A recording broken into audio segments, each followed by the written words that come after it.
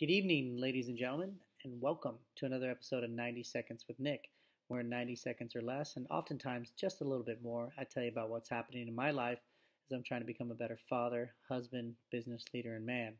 I don't know if you can tell by the tone of my voice, but I am tired. Yes, I get tired. Um, and this episode is all about balance, and I'll have you consider there's no such thing as balance. So my day started off this morning at uh, 6 a.m. with my daughter waking up. But also, if you rewind a bit, I was up a couple of times um, with the newborn. Well, I wasn't necessarily up with him, but I was up because my wife and him were up. So the sleep is definitely interrupted. But then I had to get up at six o'clock and shower to get my daughter uh, out of her bed at 6:30, get her ready, uh, do a morning routine with her, feed her breakfast, and then uh, we're fortunate enough to have some help that comes at 7:30 then I left. I went to the office. Uh, I met with my uh, VP of sales. I met with a uh, business partner I have on a second business. And then I had an entire company meeting at 9 a.m. After that, I met with my production manager. Uh, I then met with my training manager. And then I had about 30 minutes of time to get emails, commission reports done. And then I had a lunch meeting.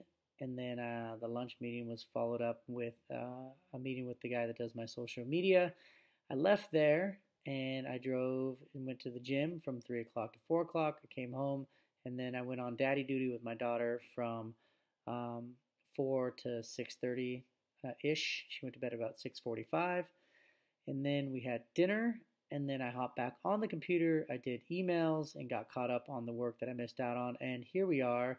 It's 9 o'clock and uh, I am just exhausted.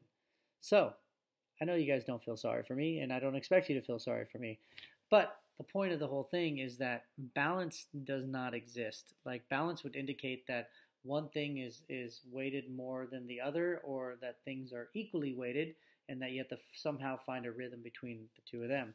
And I'll have you consider that it's about harmony, uh, harmony between all the things that are happening in your life. You know, we are uh, new parents to our second child and we are still raising our 15 month old child. We're building uh, multiple businesses.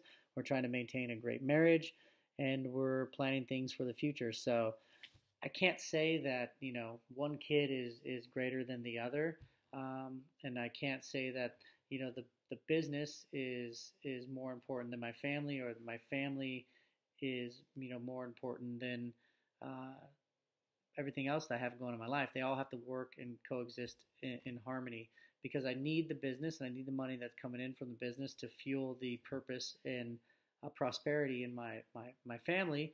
I need my family to give me purpose to go fuel my business. I need to work out so I have my body that's weaponized. And so, like, I can't put either one of these things on the scale and say that this is the one thing that I have to focus on. Given the choice, obviously, would be 100% my family. However, I need to take a step back and look at all this and say, I need all these things to be working in my life in order for me to continue to move forward. So, um, it's something I I don't struggle with, but it's something that I, I work with every single day.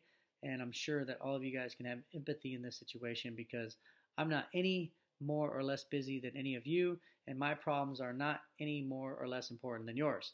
So find harmony and stop looking for the balance because when you find the balance, I guarantee you things will be out of whack and you'll be off balance. I am going to go to sleep soon and uh, I'm going to dream about harmony in all areas of my life. But today was a great day.